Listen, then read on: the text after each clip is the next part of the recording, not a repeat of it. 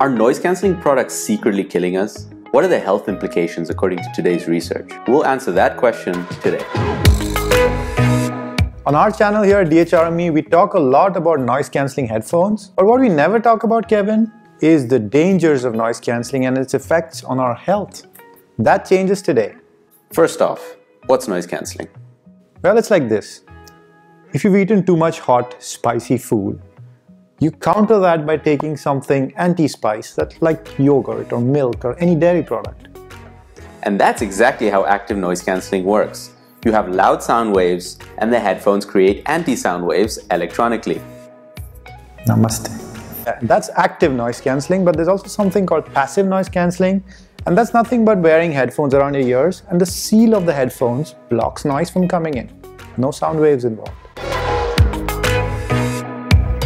Actually, Rohan, noise is your ear's biggest enemy, and long-term exposure at higher levels can actually damage your ears. And this applies to any sound source, not just headphones.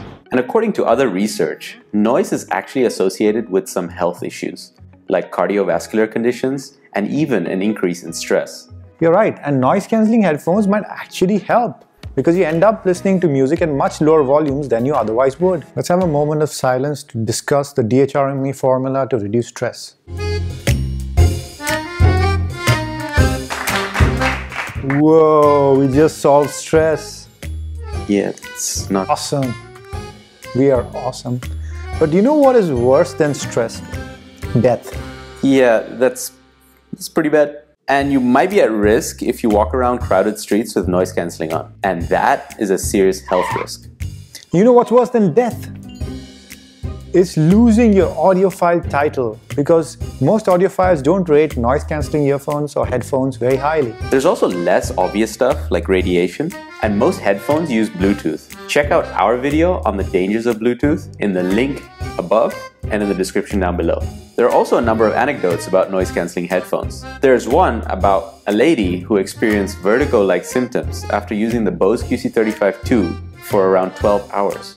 Maybe she should have used a Sony WH-1000 XM3. Bad jokes apart, that's just one instance and there are many such instances. And as the saying goes, the plural of anecdote is not data.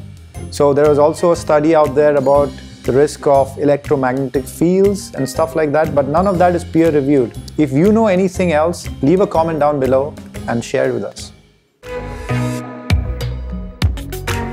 In summary, there aren't really any established risks about using noise cancelling headphones. In fact, most evidence points to the contrary that they might actually help you in some way. They seem to be quite safe and both of us also use noise cancelling headphones, right Kevin? Yeah, and look at us.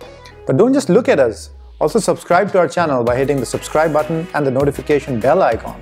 You've been watching this video at appropriate noise levels. And we've been DHRME.